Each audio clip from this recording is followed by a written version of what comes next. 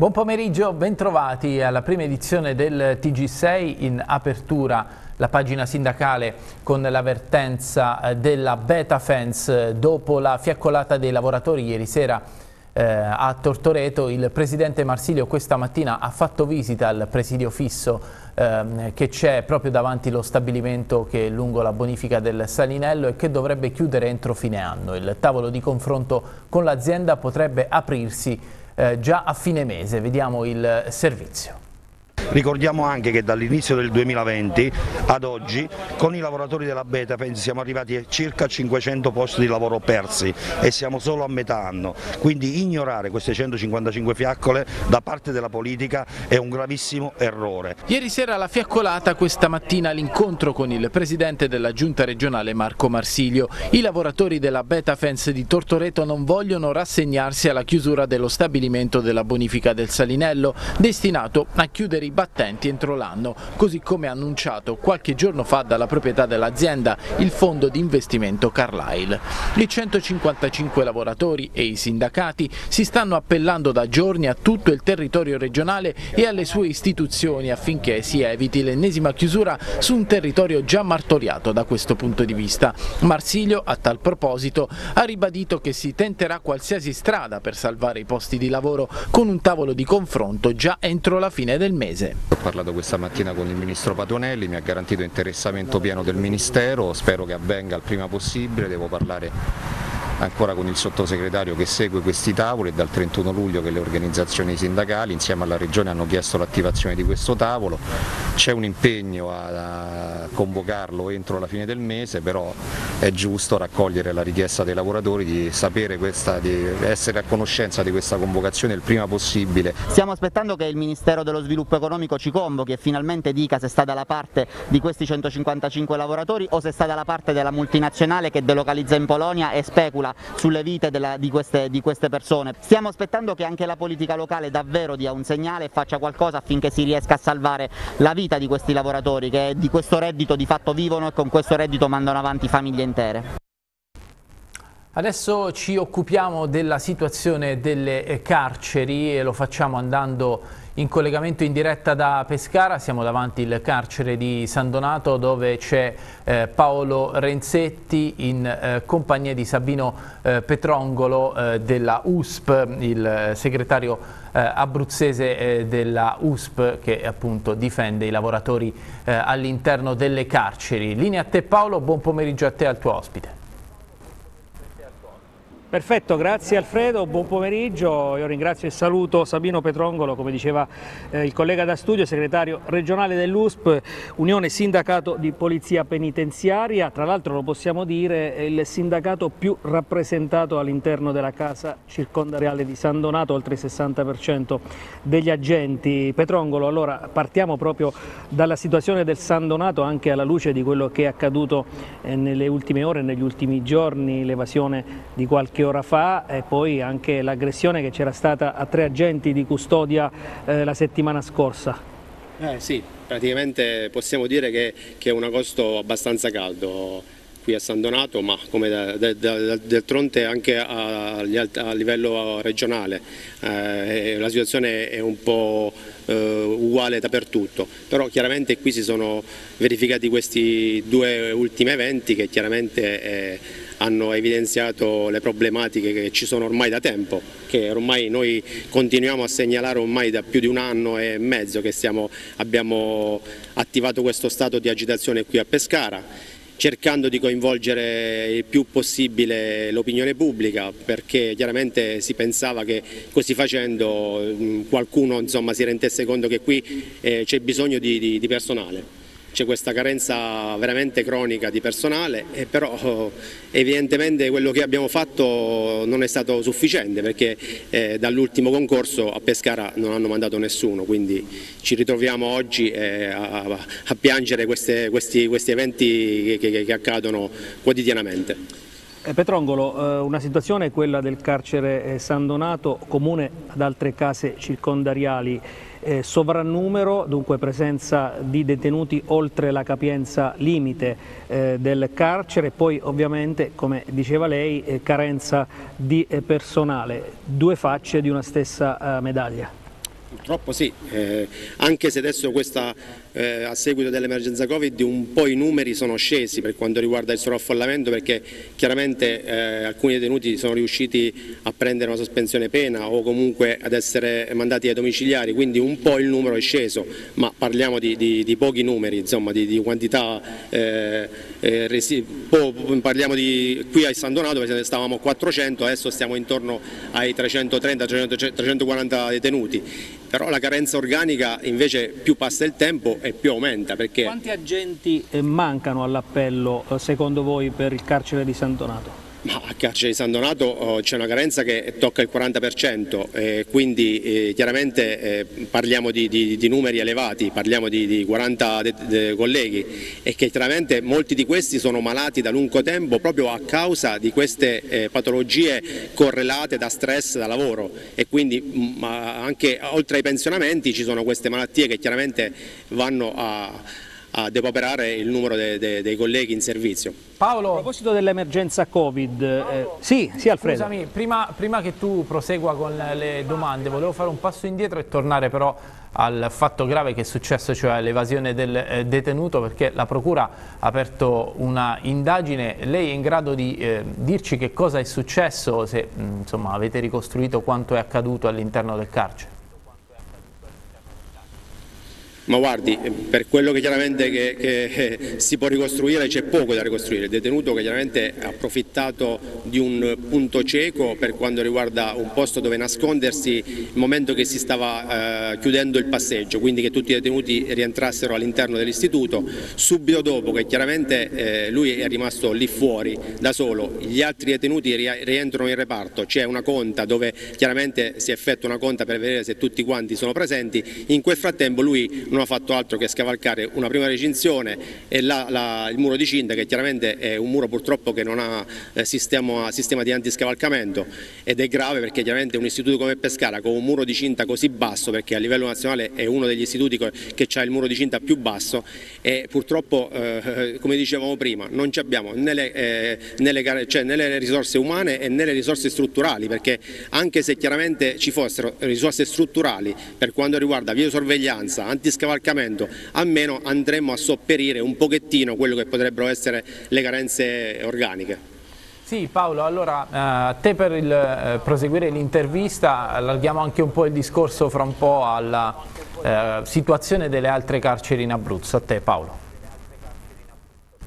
Eh sì, esattamente, infatti era quello eh, che volevo chiedere al segretario regionale dell'USP, eh, qual è la situazione oggi nelle altre eh, case circondariali della nostra regione, ce ne sono diverse, alcune importanti come eh, per esempio il carcere ehm, di Sulmona, il Castrogno di Teramo, Madonna del Freddo di Chieti, Lanciano, Vasto.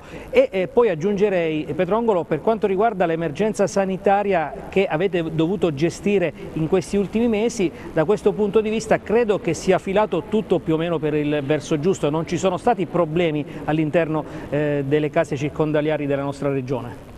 No, infatti per quanto riguarda il discorso del contagio eh, in Abruzzo non si sono registrati eh, contagi e questo chiaramente è, è, è, il fatto di un lavoro fatto, svolto bene, chiaramente con una massima attenzione anche da parte nostra che chiaramente operiamo all'interno degli istituti eh, con eh, dispositivi e, però chiaramente per quanto riguarda invece il discorso di carenza eh, devo dire che è pressoché, è pressoché simile anche a livello degli altri istituti, la carenza organica c'è un po' dappertutto, e chiaramente c'è a livello regionale ma anche a livello nazionale. Però se chiaramente non si, non si, fanno concorsi e non si mette rimedio a questa soluzione eh, non so come andremo a finire, perché purtroppo i pensionamenti ci sono ed è giusto che ci siano. E, e di conseguenza dovrebbero esserci anche quelle, quelle, quelle assunzioni che andrebbero a sopperire queste, questi pensionamenti. Carcere di massima sicurezza di Sulmona e poi carcere e Castrogno di Teramo, queste sono le due case circondariali probabilmente insieme al San Donato più importanti. Focalizzando il discorso su Teramo e Sulmona, qual è la situazione? Ma Sulmona, Sulmona, è vero che è l'istituto più importante a livello, a livello regionale anche perché ci sono detenuti di, di una certa pericolosità all'interno, quindi è chiaro che essendo un carcere di, di massima sicurezza anche lì eh, ci sono i problemi legati a, a un discorso di, di, di, carenza di personale, ma anche a un problema forse legato a tipologie di detenuti messi insieme e quindi eh, con un rischio che potrebbero venire a contatto fra di loro. Quindi noi abbiamo oh, non molto tempo fa fatto un incontro con la direzione del carcere di Sulmona dove abbiamo chiesto anche l'aiuto del direttore a far sì che almeno eh, sia, si, si, si potrebbe andare a a eliminare una tipologia di detenuti che chiaramente eh, non dovrebbero stare insieme a detenuti normali. Quindi adesso non vado nello specifico. Certo, certo. Quanto riguarda invece Teramo? Teramo anche esso è un carcere che ha una forte carenza di personale, sovrannumero di detenuti eh, elevato ehm, ci risiamo, cioè, le, le, problematiche sono, sono, simili, sono tutte simili e quindi questi problemi si risolvono solo se eh, il Ministero si rende conto di quelli che sono i numeri, eh, le carenze e fanno delle assunzioni veramente eh, eh, importanti per andare a sopperirle. In chiusura, eh, in autunno cosa potrebbe accadere in quanto a concorsi, assunzioni? Insomma l'augurio, l'auspicio è che eh, possa essere, ehm, si possa sopperire questa carenza di personale già eh, dal mese di settembre-ottobre. Ci sono delle sensazioni positive da parte dei sindacati? Le sensazioni positive ci sono, però anche, dobbiamo anche tener conto del fatto che ci sta questa, questa emergenza Covid che chiaramente limita anche eh, eh, l'iniziare un corso perché chiaramente questi ragazzi dovrebbero essere messi all'interno delle scuole e quindi anche il Ministero non sa come poterli eh, eh assumere. Quindi è tutta una situazione in divenire che chiaramente eh, si dovrà eh, risolvere perché in qualche modo comunque bisogna fare assunzioni. Bene, questa è la situazione dunque nelle case circondariali della nostra eh, regione. Io ringrazio eh, davvero Sabino Petrongolo, segretario regionale dell'Unione Sindacato Polizia Penitenziaria. Grazie, Grazie per aver accettato il nostro voi, contributo e per averci illustrato quella che è oggi la situazione nelle carceri eh, d'Abruzzo. Da Pescara è tutto. Grazie a Maurizio Dagui per l'assistenza tecnica. Linea allo studio. E noi andiamo avanti con il nostro giornale, ora voltiamo pagina e ci occupiamo eh, del bando Free Start della Fira. Esprime soddisfazione il presidente della finanziaria regionale Felizzi dopo il successo raccolto dal bando destinato a finanziare le imprese neocostituite. Lo ascoltiamo in questa intervista. Una misura concreta che ha avuto un ottimo risultato, eh, così come eh, ci aspettavamo, ci attendavamo e così come eravamo certi che sarebbe accaduto. In questo momento così complesso abbiamo dato il segno plastico di una misura in grado di agevolare concretamente nei fatti l'accesso al credito di tutte quelle microimprese, oltre che di professionisti, giovani, neocostituite o comunque costituite da meno di 48 mesi, che non avrebbero avuto dalle banche orecchie adatte per ascoltare le proprie esigenze. Lo abbiamo fatto con soldi pubblici, abbiamo concesso credito e lo concederemo nei prossimi giorni evidentemente in modo diretto, quindi valutando questi oltre 100 progetti che sono arrivati, quindi un ottimo successo della misura, e valutandola nel merito e quindi nella capacità di produrre poi reddito e non invece solamente nella capacità di essere etichettati come soggetti bancabili. Il successo di questo bando significa anche che c'è vitalità nelle imprese. Questo è un elemento fondamentale a cui io personalmente personalmente, FIRA ma anche la Regione nella persona dell'assessore allo sviluppo economico hanno sempre creduto. È un momento molto particolare, molto difficile, che si aggancia ad un momento comunque di crisi economica che diciamo così perdura da diverso tempo, comunque di una crescita piuttosto blanda dell'economia della nostra Regione. Un momento complesso che sicuramente da un lato deve vedere l'erogazione di fondi perduti, cioè vale a dire di sostegno, di assistenza a chi ha dovuto purtroppo patire la perdita di reddito, ma non può che passare attraverso l'investimento, cioè la capacità da parte del pubblico di favorire processi di investimento. Solo con l'investimento, e questo ci tengo a dirlo, è possibile eh, cercare di riattivare quel processo virtuoso che produce poi consumo e che produce poi occupazione nel medio-lungo periodo. Fira da questo punto di vista continuerà su questa strada? Ma questa misura è stata la misura, come dire, è stata l'esempio assolutamente tangibile di come una società in house possa essere di supporto alla Regione Abruzzo, una misura che noi abbiamo voluto perché ci abbiamo davvero creduto e abbiamo convinto la Regione Abruzzo a darne attuazione anche in un momento in cui si potevano avere dubbi sulla sua riuscita. La riuscita è stata ottima. Questa deve essere, diciamo così, la, la pelle che deve avere una società in house, questa deve essere il DNA scolpito eh, all'interno di una società in house, questo deve essere il ruolo proattivo, fattivo, costruttivo che tende a dare quindi un contributo in termini di valore aggiunto all'ente pubblico.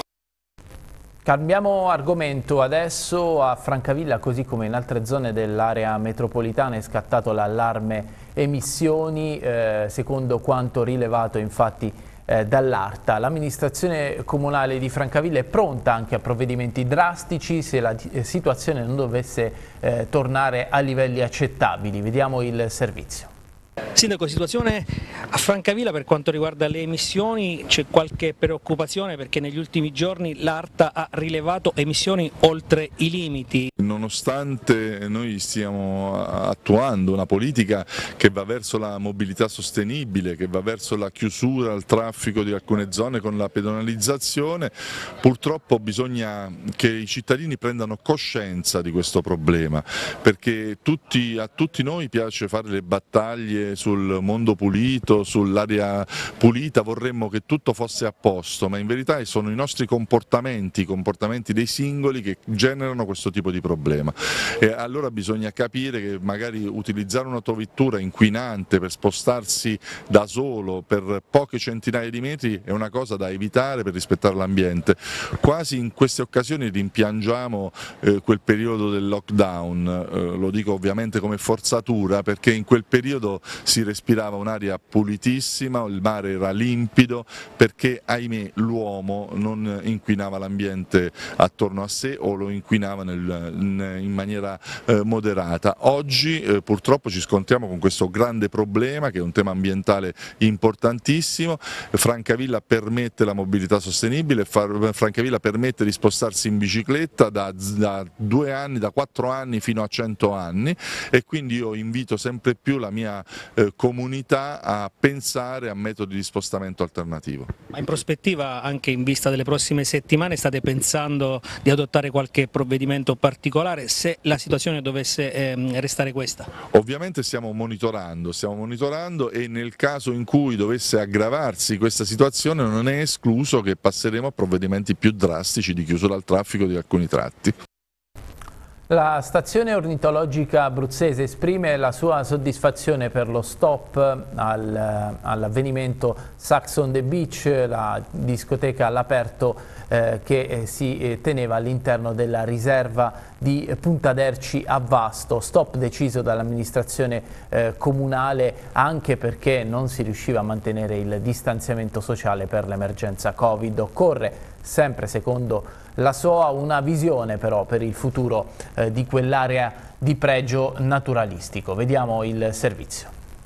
Stop ai concerti nella riserva di Punta d'Erci, stop alle discoteche all'aperto, voi avevate denunciato quanto era accaduto nei giorni scorsi De Sanctis? Sì, in realtà anche comitati locali, associazioni locali avevano eh, avvertito il comune dell'errore di eh, fare concerti addirittura eh, eh con i DJ dentro una riserva naturale, una perla dell'Adriatico come Punta d'Erci, un posto che dovrebbe essere contraddistinto dal silenzio, da, un, da una visita rispettosa dei, dei luoghi eh, addirittura in tutte le aree protette eh, del mondo non si può lasciare i sentieri, perché? Perché le aree protette vengono fatte per la fauna e la flora, noi abbiamo già occupato il 90% del litorale abruzzese, lo abbiamo antropizzato, praticamente queste sono le zone di rifugio per la fauna e la flora e dove andare in maniera rispettosa, bisogna fruirle, però non si può pensare di creare degli stadi all'aperto eh, col disturbo alla fauna eh, e eh, il calpestio, là c'è una vegetazione molto particolare, ecco immaginare migliaia di persone che vanno lì senza rendersi conto, calpestando questa vegetazione crea dei danni anche persistenti. Ora eh, eh, eh a nostro avviso è stato un errore organizzare questi concerti, meno male che all'ultimo diciamo, eh, davanti a delle immagini inequivocabili anche rispetto al Covid, distanziamento assolutamente assente, c'era assembramenti, ecco una condizione eh, non, di, di, gestione scorretta di un patrimonio unico che noi abbiamo. Diciamo quello che si aspetta un visitatore che viene da, da fuori, trovare silenzio, trovare calma e eh, informazioni, eh, servizi all'altezza, guide naturalistiche, questo noi dobbiamo eh, sviluppare. Ecco, noi, a noi preoccupa però, al di là di questi concerti che adesso hanno avuto giustamente uno stop, preoccupa eh, la gestione che il Comune di Vasto vuole fare eh, alla riserva di Punta Derci. Quello è un luogo dove ormai si è trasformato in un posto, un vero e proprio diremmo carnaio. Eh, ecco, forse dovremmo pensare, come si fa in Trentino per esempio, anche al numero chiuso, a un, anche a un obolo magari da, eh, per avere dei servizi però all'altezza. Adesso passiamo allo sport, calcio di Serie B sempre in primo piano, nel momento di massima difficoltà il Pescara si è ritrovato e la reazione avuta nel secondo tempo del play-out d'andata fa ben sperare per il ritorno, ma venerdì al Curi di Perugia sarà autentica battaglia per la permanenza nel campionato cadetto anche sulla scorta delle polemiche generate dal rovente finale all'Adriatico Cornacchia. Vediamo il servizio di Andrea Costantini. Sull'orlo del precipizio il Pescara si è ritrovato, sotto di un gol alla fine del primo tempo del play-out d'andata tra le mura amiche dell'Adriatico Cornacchia erano spalancate le porte della Serie C. Il secondo tempo però ha restituito un'altra squadra capace di reagire e di farlo anche con giocate di qualità che hanno permesso di ribaltare il risultato ai danni del Perugia. Tuttavia sono tutti concordi nell'ambiente biancazzurro, non si è fatto ancora nulla. La retrocessione resta lo spauracchio da evitare e per farlo servirà un'altra grandissima prova al Curi, dove però è vero che il Pescara avrà due risultati su tre a disposizione, ma guai a pensare solo a difendersi, sarebbe un errore capitale. E questa è una squadra che non può difendersi, non sa difendersi, se ci mettiamo a speculare sui risultati facciamo fatica ha delle qualità e bisogna lavorare su quelle qualità. Pescara ha dimostrato che, che comunque tra eh, i suoi giocatori ci sono giocatori di grande qualità che possono fare la differenza in qualsiasi momento. Nel primo tempo di lunedì la squadra è apparsa condizionata, paradossalmente il gol perugino, dopo alcuni minuti di stordimento, è stata una sveglia e il Delfino ha massimizzato un quarto d'ora di furia agonistica con le reti di Galano e Maniero. Fondamentale poi l'apporto di Ugo Campagnaro, la cui sola presenza ha ridato certezze alla fase fase difensiva del Pescara. La sua presenza sarà determinante al Curi, leggere i momenti, gestire le emozioni, specie nei momenti di sofferenza. Tutto ciò è determinante, ancor prima che l'aspetto meramente tecnico. Per il Toro sarà l'ultima recita prima del ritiro e il Delfino si affiderà di nuovo alla sua esperienza, così come alla voglia di salvezza del capitano Vincenzo Fiorillo che predica prudenza e traccia la via per il match di ritorno. È solamente il primo tempo e dobbiamo adesso recuperare le energie e prepararci a, a venerdì che sarà una, una battaglia, ma per noi questa salvezza vale, vale, la vita e faremo di tutto per raggiungerla. Queste partite si giocano eh, sul filo delle energie mentali, ecco, quindi dobbiamo andare lì e, e, rimettere un cuore grande in campo e veramente tirare fuori da dentro tutte le energie che abbiamo e portare a casa il risultato in qualsiasi maniera. La voglia che ho io di, di portare a casa questa salvezza, ma anche tanti miei compagni, però parlo per me, è una questione davvero di, di futuro e, e, di vita professionale. Vastaeco a livello nazionale hanno avuto le parole del direttore tecnico del Perugia Goretti sul secondo pallone buttato in campo dalla panchina del Pescara su una ripartenza degli Umbri. Chiamato in causa da Goretti poiché avrebbe preparato il gesto, ieri il tecnico biancazzurro Sottil ha rimandato al mittente le accuse per quanto non abbia affatto inciso sul risultato del match, il gesto comunque sleale è stato giustamente punito dal direttore di gara e dal giudice sportivo sportivo, una giornata al team manager Gessa e 5.000 euro di ammenda al Pescara. Minor eco mediatica invece è stata data al fallo di mano di Ghiomber, un intervento scomposto che andava punito con il calcio di rigore e con il secondo giallo al difensore slovacco. Il Perugia avrebbe giocato più di un tempo in 10 uomini e, già a corto di centrali, Oddo non l'avrebbe avuto per il match del Curi. Arbitro e VAR hanno incredibilmente sorvolato su un episodio che poteva indirizzare fortemente questo questo spareggio. Bravo il Pescara a resettare e a rimontare comunque. In vista della decisiva gara di dopodomani, Sottil verificherà le condizioni di Del Grosso, Drudi, difficile il recupero, e Bettella, in campo nel finale di due giorni fa. Il giovane difensore di proprietà dell'Atalanta e Busellato possono contendere una maglia a Scognamiglio e Castanos. Sul fronte Perugia la squadra è tornata a lavorare nel ritiro di Cascia, hanno fatto rumore i 100 minuti in panchina del bomber Iemmello in una partita da vincere ad ogni costo, però Oddo potrebbe affidarsi a lui per tentare la rimonta. Andiamo in Serie D adesso, dopo aver fatto i test sierologici la scorsa settimana, il Pineto si è radunato due giorni fa allo stadio Mariani Pavone ed ha iniziato la preparazione atletica in vista del prossimo campionato. Ai nostri microfoni ascoltiamo il DG Roberto eh, Giammarino che parla delle prospettive della stagione e fa il punto sull'allestimento dell'organico. Roberto Giamarino ricomincia l'avventura del, del, Pineto, si riparte in condizioni particolari. Ci stiamo attenendo ai protocolli che erano usciti da mesi, sono molto restrittivi, cercheremo di fare il possibile. Eh, noi ci stiamo mettendo tanto entusiasmo anche perché è giusto per gli sforzi della società ripartire con tutto l'entusiasmo che questa piazza vuole, con molta umiltà perché abbiamo, abbiamo fatto le cose in silenzio, ci siamo ci siamo compattati con tutti i ragazzi, adesso dobbiamo semplicemente lavorare e sperare che questa, che questa piaga del Covid non si ripresenti in una maniera pesante. Credo che bisogna andare avanti, la vita continua e queste cose bisogna affrontarle, bisogna affrontarle nella maniera giusta, con serietà, eh, con oculatezza, cercando di fare le cose eh, fatte bene, sperando che si, questa situazione vada a morire. Eh, I gironi si conosceranno nella prima settimana di settembre probabilmente, però è possibile già eh, sapere insomma, quelli che sono gli obiettivi del, del Pineto? Ma noi come ogni anno abbiamo fatto, faremo, abbiamo fatto e continueremo a creare una, una, squadra competitiva per ben figurare come abbiamo fatto gli altri anni. Si spera sempre nell'annata buona, pensiamo di aver, fatto, di aver allestito una squadra eh, equilibrata tra giovani e vecchi e quindi speriamo di, di, avere un po' di fortuna, un pizzico di fortuna che, in questi casi non, non guasta mai. C'è un mercato ancora da, da, completare, a che punto siete? Ma noi in questo organico dovremmo inserire un altro paio di, di elementi. È chiaro che insieme al mister stiamo valutando dove dover mettere questi, questi, due elementi. La società ci ha dato piena disponibilità per fare un altro paio di operazioni, ne siamo in considerazione che gli over sono 9, compreso i 2,97, quindi diciamo che è un organico abbastanza ristretto cercheremo di completarlo aspettando anche il mercato dei professionisti o, o se sono, ecco, se capitano delle situazioni di opportunità di, di qualche giocatore, di qualche ragazzo eh, nei dintorni, abruzzese meglio ancora, vedremo.